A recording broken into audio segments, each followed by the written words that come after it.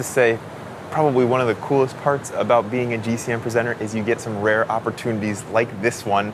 We're staying at the Wall Center in Vancouver, and they offered to let us come up on the rooftop and watch the sunrise with coffee before we get out and explore the entire city on our bikes today. And I don't know about you guys, but I can't think of a better way to start my day.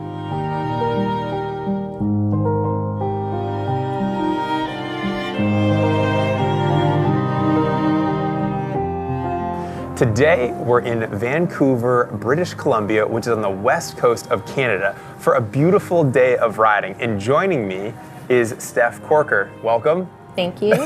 Steph is a uh, triathlete, also a local area rider, and a cookie connoisseur, from what I hear. I have made some cookies, a lot of cookies. And a pretty accomplished triathlete. Something I, I just want to go through the maybe 25 um, Ironman participations. Uh, there's like a couple wins in there that are prestigious. It's true. Okay, well, Steph, we're here at the convention center in the in the harbor of Vancouver. is a beautiful area, absolutely breathtaking. We're sitting here having coffee before we head out on this ride, and we're looking at mountains, parks, people enjoying themselves, and the sun is just coming up. The day is getting going. So, what are we going to do today? Yeah, Dawn Patrol, riding with the sun. So we're leaving downtown Vancouver. We're going to head over the Lionsgate Bridge um, through Stanley Park, which is sort of your entrance and exit for every ride out of the city. Okay. And today we're going to hit Cypress Mountain and hit the Sea to Sky Highway en route to Whistler. So what what is what are we looking at here? We're going to go over the bridge, Lionsgate. We're going to go through Stanley. We're going to go up Cypress, and then there's two other climbs that are part of the Triple Crown that we're not going to hit because we want to do a nice ride. We don't want to do a drag out, knockout. But tell me about the other two climbs that are in the area. Yeah, so the second mountain is Grouse Mountain. It's a little bit shorter with a quick, like, steep pitch at the end. Um, I wouldn't say there's a ton of cyclists that go up Grouse. You really only hit that mountain if you're doing the Triple Crown. Okay. But Seymour is the next mountain, which is a gorgeous climb. It's about 14 kilometers long. Um, there's two races that take place here the Cypress Challenge and the Seymour Challenge. So often people will be training on these mountains. As a triathlete or a roadie, it's awesome to have mountains like right out your doorstep. And, um, you know, you can head up Cypress and back. It's a two to three hour ride from your home downtown Vancouver, and it's awesome. Cool. All right, well, I can't wait to check it out and take in some of what Vancouver has to offer. Let's roll. All right. Vancouver, British Columbia is the third largest city in Canada after Toronto and Montreal. The city's style is really easygoing and conducive for riding your bike, with bike paths everywhere and not a single highway inside the city. It has a beautiful mountainous terrain with the Pacific Ocean almost always in sight, no matter where you are. And in the winter months, skiing is just a short drive away at the local mountains that tower over Vancouver, making it a truly unique place for people who love the outdoors. Steph, we're here on the bike path. We've come through Stanley Park. We're making our way to the Lionsgate Bridge. Lionsgate Bridge. This is already really pretty with the big cedar trees and the pine trees kind of towering over. And this is like, like I said, this is where all of the cyclists will come in and out of. This is the main way to get in and out of the city and head out to the mountains. Am I right? Absolutely. Well, yeah. This is a great resource and um, definitely, I can tell, well utilized. Absolutely.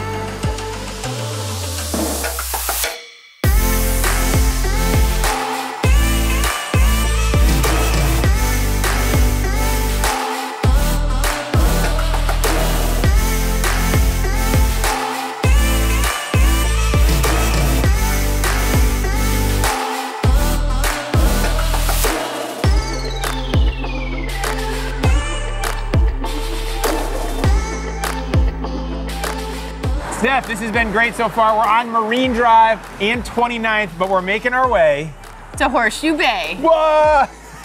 and then what are we gonna, what's going on down there? Yeah, so Horseshoe Bay, the rip to Horseshoe Bay is awesome for local cyclists. It's a great place.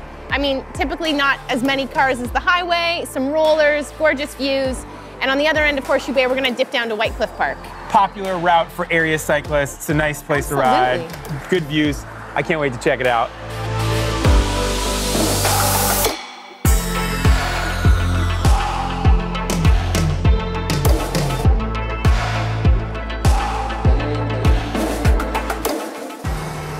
Steph, Marine Drive is beautiful. It's all these houses on the water, that smell of the sea salt, and gosh, there's not a ton of cars. It's just really, really pretty. Like giving me the good vibes being out here. It's pretty hard to beat. It's an awesome place to ride. You're away from the highway and gosh, gorgeous. looking, looking out into the city over on this side. I get it now. I now I get it. Secret's out. Yeah.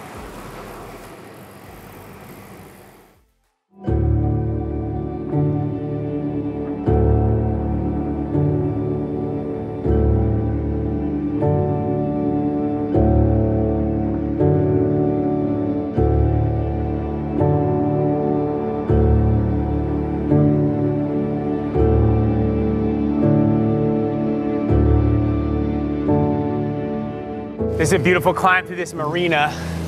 And then there's all these little islands here. Yeah. It's super cool because far in the distance you can see the Gulf Islands Okay. and Vancouver Island, but much closer, right here is Eagle Island. There's about 20 homes.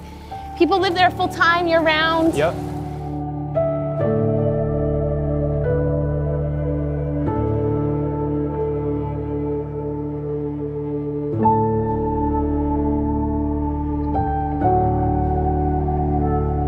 So that was Marine Drive. Very pretty. Again, just that sea salt, all that in the air. Really enjoyed that. We're here now in, Horseshoe Bay. okay, and where are we headed? Well, we're headed down to Whytecliff Park. It's a quick little extension from Horseshoe Bay, but the views are gorgeous and it's totally worth it. And what's notable is Horseshoe Bay is the ferry terminal that takes you to local islands. Some are close, some are a little bit further away. It's a special place.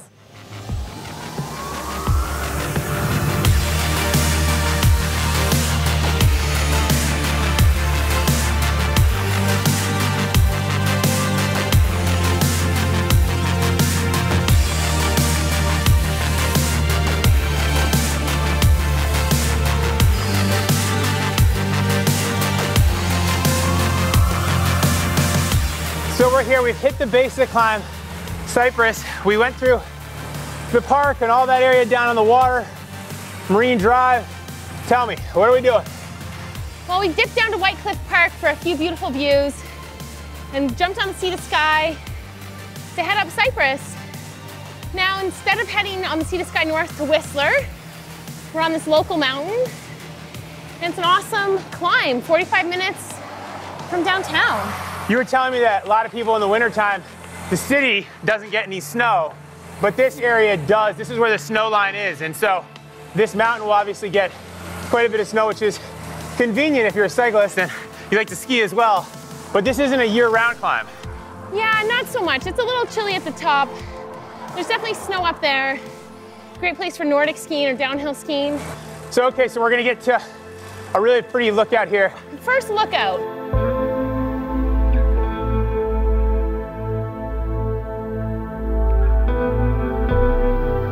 Well, right from where we started, Vancouver Convention Center, it's across the way. Wow. Lionsgate Bridge, Stanley Park. Yeah. It's really, I mean, you've landed a bluebird perfect day. You can ah. see it all. It is really just breathtaking up here. What? So I remember when we looked at it from this way, this was the mountain that was the furthest to our left. And so then now, still, this is gonna be the Grouse Mountain and then Seymour Mountain. Seymour Mountain is right over that. So that's the, that's the Triple Crown. It's a triple crown. Man, but we're only on part one of three parts. We still got like eight kilometers to go to get to the top of this. We're about a third of the way up. Okay. Yeah. Man, all right, well, this is, this is beautiful. And what are we looking at it's just straight across? Yeah, that's the University of British Columbia. It's its own little pocket here. I, you It'd know, be fun to go to university on the beach. on the beach. Barrett's View, Dave Barrett, Premier of British Columbia from 1972 to 1975. Well, throughout the 1960s, the future of Cypress Bowl was hotly debated in 1964, but a member of the Legislative Assembly, which is the MLA, by the name of Dave Barrett, pressed the Minister of Forest to honor a commitment to preserve the forest lands in Cypress. Well, Cypress Bowl. What followed was an eight year effort by MLA Barrett to save Cypress Bowl from chainsaws and residential development. Elected British Columbia's premier in 1972, his dream was finally realized when his government established Cypress Park as a Class A provincial park in 1975.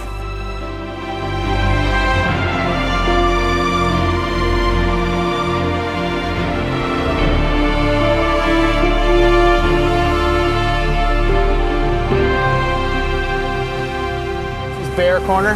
Bear Corner, the notorious spot where the bears just prance out of one side of the woods, across the street, jump into the other side. Got it, yeah. So a couple bear settings here. We have bears in Massachusetts. It's uh, they're probably different than the ones you have here, I think. We have little black bears. They come in, they shred the bird feeder, Oh. the dog chases them off, and then, yeah, and then we look back at them and get pictures and stuff, because, yeah, not that we mess with them, but it's pretty cool and unique to see a bear at certain times of the year in Massachusetts. Yeah. But you guys have also brown bears. Grizzlies. That's what I mean. I know. I don't think there's grizzlies here though. I think closer to Whistler. Okay, I think we're on black bear territory. that's still pretty close. Not far. That's like close enough where you're like, I don't think I want to see a brown bear. I don't want to carry bear spray in my jersey. You know what I'm saying? Yeah, I know exactly what you're saying. Yeah, yeah. If I saw a brown bear, I think I would need to carry something else.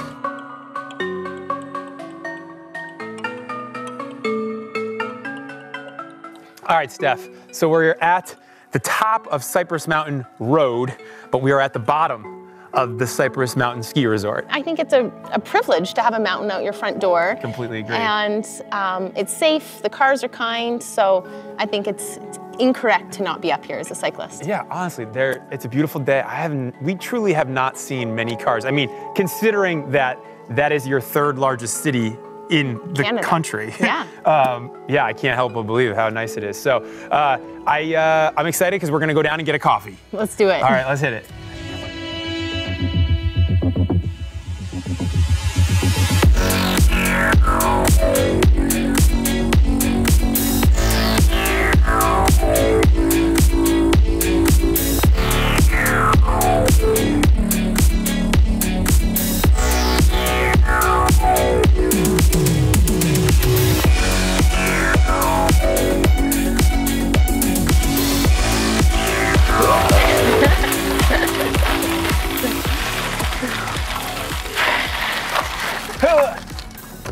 This is the lookout.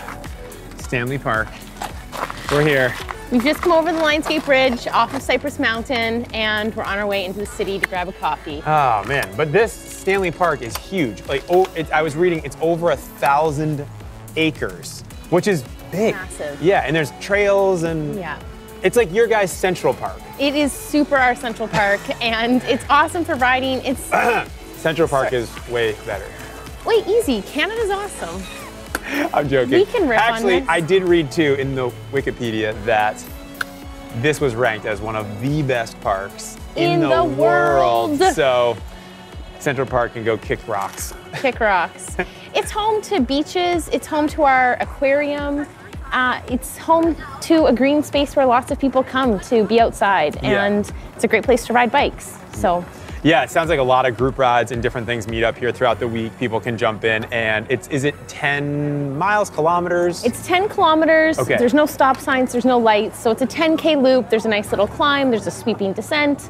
You have gorgeous views. It's all around the water. So I mean, obviously, it's going to top Central Park. We're riding around the ocean. yeah, yeah. No, I can't. I, I I'm not even gonna try on this one. It's cool.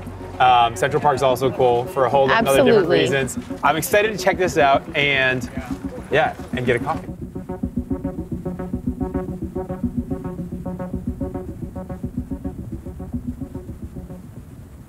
Gosh, so that was Stanley Park. And then if you want to loop up and just keep going, you just take a left there. Absolutely. And go right back in. But now you're in uh, uh, downtown. Where are we? We're downtown Vancouver on Pacific Avenue, and Gosh, loops of the park never get old. No, I We can just see that. Keep looping. this is sweet. It looks like there's going to be some type of festival or something going on in here tonight. There's probably always something going on in Always. There's always something. Yeah, If there is sunshine, there is action on the beach. that is so great. Looks like people are swimming, taking it all in. And uh, in theory, if you were in here in a hot summer day, you could probably just roll right up and jump in. Heck yeah. And very Canadian of you guys to just put old tree limbs out there for people to rest themselves on. Yes, they're beach logs. Beach logs, I love it. They've washed up and they've been repurposed. So we're en route to grab a coffee downtown Vancouver. After a long day of shooting and exploring, we had to get a coffee to re-energize our souls and get the blood flowing to our brains again. I also really wanted to check out and explore everything that downtown had to offer, but we could only cram so much into one day. So we decided that we would grab a quick coffee and then right afterwards, an early lunch to finish off our day. And Somehow, I convinced Steph that it's super pro to wear your helmet in the coffee shop. I can't say I, I wasn't expecting it, but I was delightfully surprised, surprised. that there was so many things that were uh, made riding here like pretty easy. Cool. So yeah, it was great, and I definitely I think the route is a nice route. It's not like a drop dead. Like you won't you won't you don't have to crawl home. You can just enjoy yourself. A couple yeah. hours from the city, boom, do some climbing, come back down, shoot in, grab a coffee, and grab some food after this. It's like yeah, it's a nice day on the bike. I would, I would, yeah. If I was in town, this is a ride that I would do. It's a good day that can be done very early in the morning, midday, and if you want to explore and see Vancouver, you really have seen the best of Vancouver and some of the best coffee. Yeah, it's been it's great, and we're gonna dig into this pastry right now, and then we're gonna fill up our bellies after that. All right, Steph, where are we headed? Kitsilano, baby over the Burrard Street Bridge, leaving downtown. Okay. Heading to the OV, as we call it, Olympic Village. Okay. Because that's where you go for a beer. All right.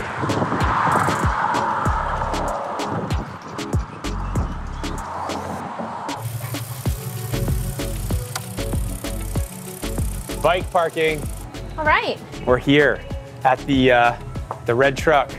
This looks great. There are a lot of red trucks. and we're here because this place is really apparently like a big uh, supporter of the local cycling community. They do, they're part of the uh, RBC Granfondo, which we're also here for. They're part of, they sponsor a lot of like local youth development cycling programs. They've got a huge team in the area. Yeah and just a ton of super passionate, enthusiast, enthusiastic riders and people involved in the sport. And they make beer.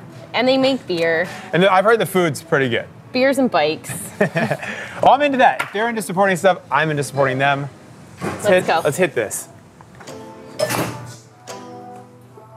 Steph, cheers. Thank you so much for showing us around Vancouver. It was an absolutely perfect day for it. Mm. All of the um, amenities and cycling infrastructure and all the great people that we met. It was, yeah, truly changed my opinion of the area. Not that I had a bad one, just that is really, really conducive to cycling, and a lot of great people here that also love riding. So really enjoyed being out, and um, yeah, we got a nice meal. What, what's up? You got something coming up though. You got to get out of here because you got a bunch of cookies to make for the Granfondo. Gosh, I am baking 5,000 cookies tonight, and the kitchen opens at 5 p.m. and I don't know how long it's going to take. we got to get her out of here. But I'm gone. Thank you so much for the great hospitality, for showing us around. Get out of here, go make your cookies. And if you liked this video and you want to check out Vancouver, make sure you leave a comment, tell us your favorite spots. Please give this video a thumbs up. If you want to subscribe to GCN, click right here. And if you want to check out other cool videos like this one, check out right over here.